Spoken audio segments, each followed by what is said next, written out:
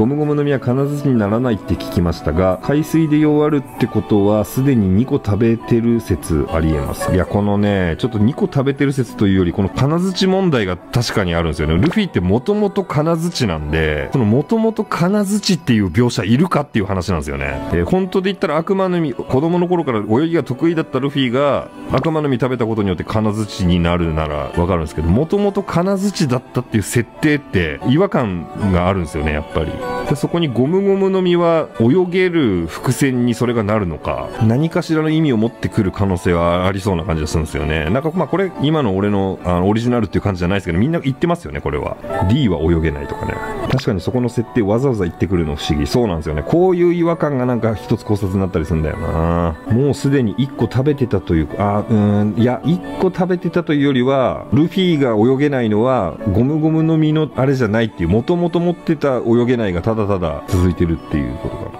ウルージさんそろそろ出てきてもいいのでは何してるのかな？ウルージに関してはもう、むずいよな。出てきてねえからな、結局。最後に出てきたのが、あのバロンターミナルで、ナムっつって、あのカイドウが飛び降り自殺するのを見たっていう話だよね。バロンターミナルももうかなり意味深ですのでね、風船の終着駅みたいな感じで、ジブリっぽさがちょっとあったりする島なんでしょうけど、あそこまでウルージたちがどうやって行ったのかもあるしね、バロンターミナルで傷を癒してたって言ってたけど、空を飛ぶ術があるのかとか、で、あとは、ウルージが乗っている海賊船の船も、船首が般若の面なんだよね。で、和の国とのつながりっていうのが結構匂わされているはずなんで、破壊層とかっていうのもね、ただ和の国編では出番なしということなんで、今後和の国にもう一度、その桃之助とかプルトンとか、その辺でスポットが当たるはずなんで、その辺でウルージ登場するか、そのぐらいしかないのかな。和の国で出るのがなんかすっきりはするんだけどな、今までのウルージの情報を考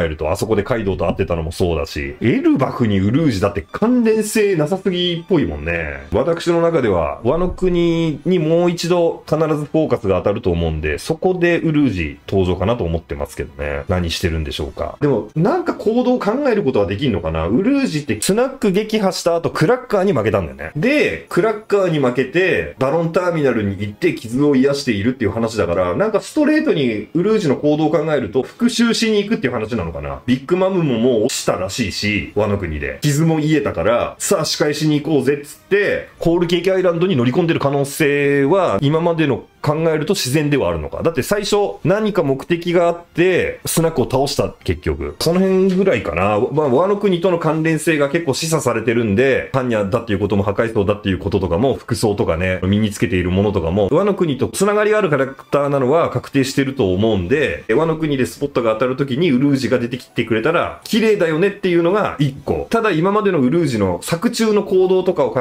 えると、ビッグマム海賊団に挑んで、スナック倒してクラッカーに負けてることを考えると、傷が癒えたら、本来の目的通りビッグマム海賊団のところに復讐しに行くんじゃないかなとかね。ただなんか賢そうな感じもあるんでね、ウルージはね。もう目的が変わる可能性もあるよね。ビッグマム海賊団と今の世界の海がこんな感じになってるんだったら、当初はビッグマム海賊団を襲う予定だったけど、あと力の差もね、はっきり分かったから、その目的は変更して、こういう風に動こうぜっていうのは考えそうなんでね。で、もし TO さんがウルージと言いつつも、モンスタージョンさんのことを言ってるんであればわかんないですね。モンスター・ジョンさんそろそろ出てきてもいいのでは何してるかなっていうのであれば、答えは全く別物になります。ブラジルにいらっしゃることと。であとは今もうモンスター・ジョン TV じゃなくて、他のチャンネルで何個かバズらせてるよね。さすがジョンさん。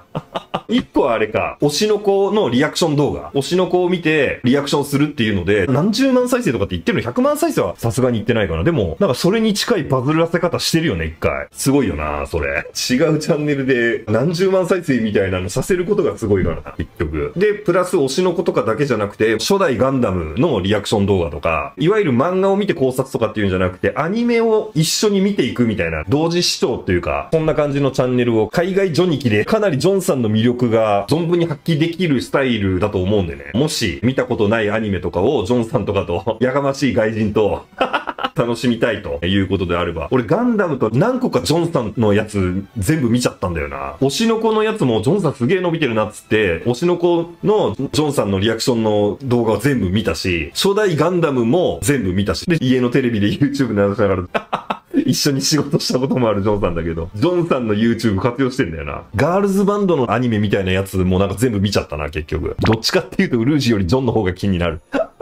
それこそワンピースに繋がりそうなやつほどやってほしいよね。初代ガンダムとかはめちゃめちゃ俺気になったし、あと最近流行ってる知っとかなきゃまずいだろうみたいなのを、ジョンさんと一緒に見てたな。さすがだよね、ジョンさんね。あ、そうそう、ボッチザロックだ。なんかいっぱいいろんなところで聞いたことあるな。あ、ジョンさんボッチザロックリアクションやってるわっつって、もう見たり、興味ある方は、ワンピース以外の素晴らしい名作作品っていうのはいっぱいあるんです。初代ガンダムとかもそうだけど、で、その辺を、ジョンさんの解説とか、ジョンさんのあのリアクションとか 一緒に見れるんでね、興味ある方はぜひ見てみてください。ルフィが2課覚醒してから時々ルフィに違和感を感じます。根拠とかはないのですが、ルフィじゃない感があります。あと、ルフィってギアセカンドの時にルッチに命を削ってると言われ、イワンコフに寿命を削られカイドウに倒され、一度死んだため、寿命が短くなって、この先寿命問題が出てきそうな気がします。もち先生はどう思いますかと。走っただけなのに妙に疲れているルフィの姿が描かれたりしてますけども、根拠とかはないのですが、ルフィじゃない感がありますって言ってるんですけど、根拠というか、そういう匂わせは結構されてる感じはしますよね。ルフィじゃない感というか、ルフィの体に異変があるみたいな匂わせは結構あるんですけど、ここからわかるのは、ルフィは思ったよりも早く死ぬことは運命づけられているというかね、今死んだら後悔するみたいなね、頂上戦争でもギリギリの状態でホルモン注射で大立ち回りしてたわけですけども、寿命問題は絶対に出てくるんじゃないですかね。付随して考えられるのが、寿命っていうものをチョッパーがなんとかするんじゃないかみたいなね、15年前ぐらいからは結構ね、考察会では有名な予想というか、大雑把な流れ、ルフィに不治の病というか、ロジャーがかかった病気なのか、あるいは寿命関連のことなのか、とにかくルフィに死の危険が訪れる。で、それを万能薬になりたいチョッパーが救う。そこで、まだついていない5人目がつくっていう、細かいニュアンスはどっか違えど、こういう流れっていうのは、ほぼほぼ間違いなく起こるんじゃないかっていうのはね、私は考えております。ヒルルク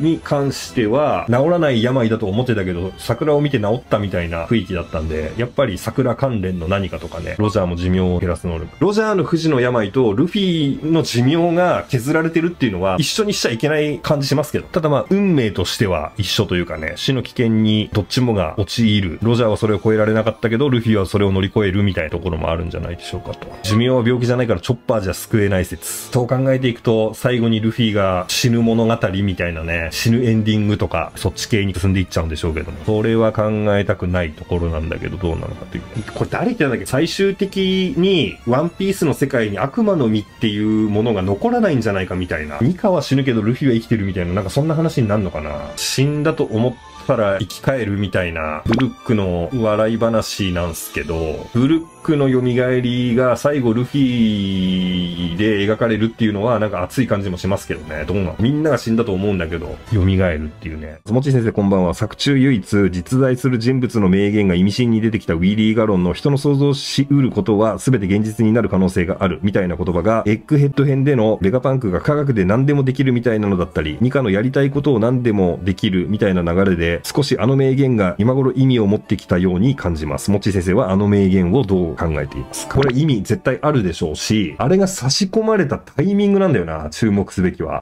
空島編スタートするところでしょ、あれね。セントブリス号が上から落ちてくるっていうね、もう超衝撃展開みたいなね。そこであのセリフなんで、私的にはそのタイミングがかなりね、鍵になるんじゃなかろうかと。で、空島編っていうのは何度も話しますけど、空白の100年あるいは最終回暗示になっているのではなかろうかというね。あの物語、進行具合全体がね、ニカのこと言ってるしな若干人の想像し得ることは全て現実になるみたいな、どういう意味を持っていくのか。で、それが空島編の冒頭だから、もしかしたら空白の100年編冒頭に人が想像し得ることは全て現実になることであるみたいな感じでニカが登場するのかとかね、その辺がどういう鍵を握っていくのかというところでございます。